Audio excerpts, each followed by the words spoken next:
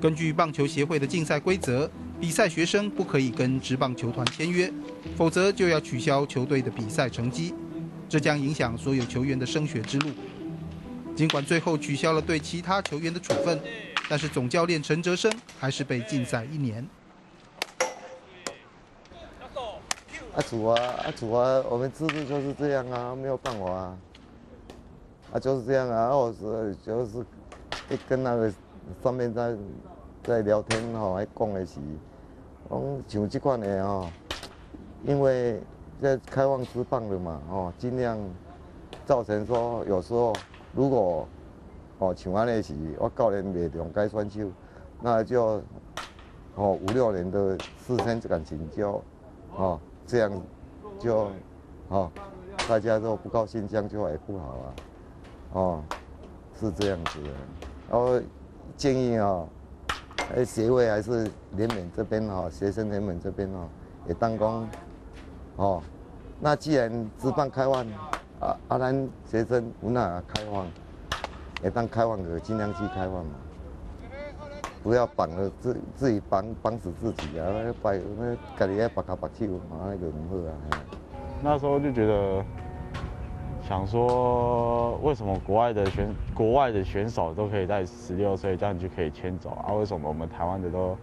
一定要在十八岁以后才可以签？我觉得有时候会不懂。我们为了这个事情，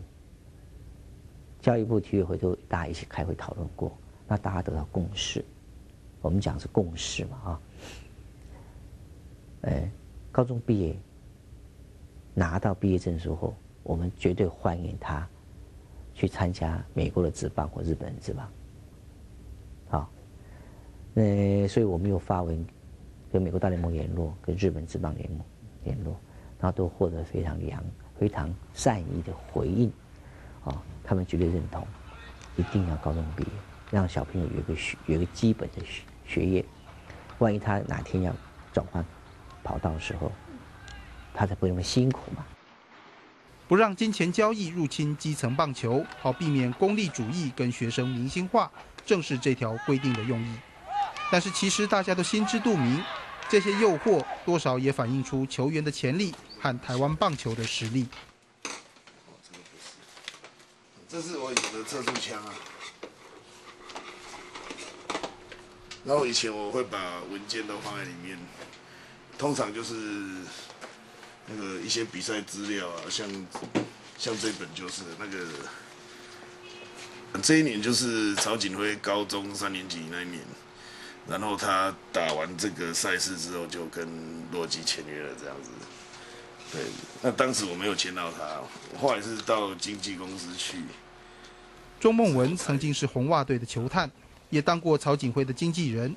前前后后十年，他看着选手来来去去，不愿被批评挖了台湾棒球的根，决定专心卖球具。最大的区别哈，球探他是球团的代表，就是代表资方啊，那经纪人他是劳方的代表，就代表选手这样，所以两者其实是对立的，嗯，甚至有一搭一唱，两个其实是合伙的，那一个当球探，一个当经纪人这样。用挂钩的方式在做事啊，对，所以那个角色就变得比较像中介，对，他就中介，然后两边转，对，所以我我后来就是觉得台湾这个环境太乱了，所以我就不想做了。就大联盟这个系统哦，有点像早期我们台湾的升学系统，就是说，呃，它有分成新人联盟、一 A、二 A、三 A 大联盟嘛，那就有点像我们以前。以以前要考初中嘛，然后考高中，然后考大学，然后一一层一层的去筛选啊。那其实大联盟有点像这样子，可是你每经过一段，你就是有一段的学习过程这样子。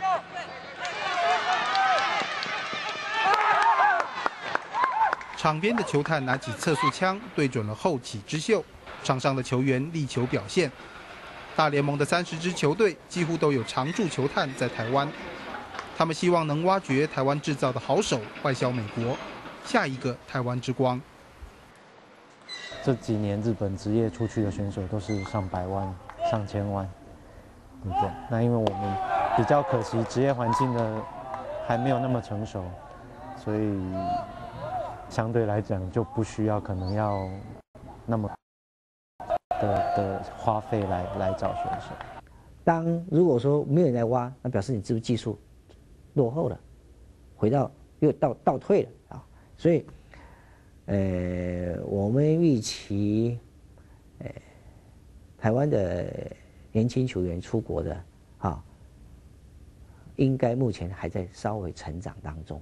但已经不会说大幅的成长了，倒没有，还是，所以，我们棒球协会也也有一个预期，就是说。可能维持在五六十个球员在美国、日本打球。从另一个角度看，四支职棒队伍加上两支社会球队，台湾城棒就业环境空间狭窄，体质孱弱，旅外也加速让具有竞争力的球员在自由市场下选择出走。就算不能争取到高价的签约金，球员也愿意拼一个机会。当球员本身的能力没有。比较好的时候，呃，不管即使是老外，也有可能只有五百块美金啊。对啊，那可那个通常在第十五轮以后，都是几千块美金，甚至不到一千块美金的的选手。每一个有出国的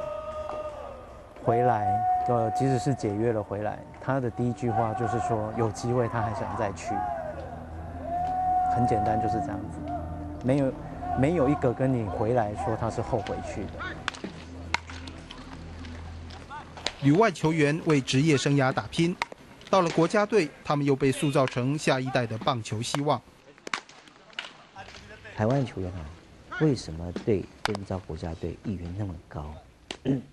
那是因为台湾球员大部分从小就穿着中华队的服装、球服长大的嘛。啊，他或许呃少棒没有参加国家队，但他青少棒。就会有机会参加或青棒，所以他从小对国家队那套制服的感情很深厚，有很多怀念的理由。他自己很想打经典赛，对这一次经典赛准备准备蛮久的，对，因为毕竟前前几年都一直没有这个机会代表国家参加比赛。我们的。啊，年轻选手在美国大概还在小联盟的这个阶段的，啊，他们自己很清楚，在美国小联盟的选手里面，根本不可能有选手可以参加这种这种比赛。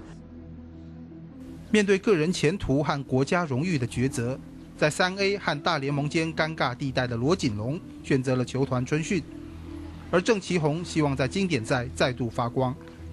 这对两个人来说都是关键的决定，他们都不想被判出局。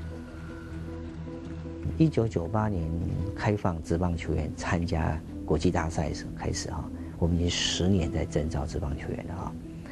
嗯，当然，随着时时间的改变哈，那球团当然会想说，球员是我的财产啊，那我不我不希望我的球员去打个国际赛受伤，让我财产受损。这个观念开始起来了嘛，对不对？其实今年就不会很强求，但就是也不会说都不想打，就是其实我我心态很平静吧，因为其实两边都很重要。我自己那边的春训跟其实打经典赛，你有好的表现，大家也都看得到。当台湾之光缺席，无法在国际赛事上为国争光，这样的 Chinese Taipei 反映的难道不正是台湾真正的棒球国力吗？旅美的选手越来越多，但是台湾的棒球实力是不是也跟着向上提升了呢？透过上面的报道，也许找不到确切的答案，但是这一次的经典赛却可以透露出一点讯息，在替我们的代表队担心加油之余，也希望。台湾棒坛能对棒球环境做出更多的醒思和改进。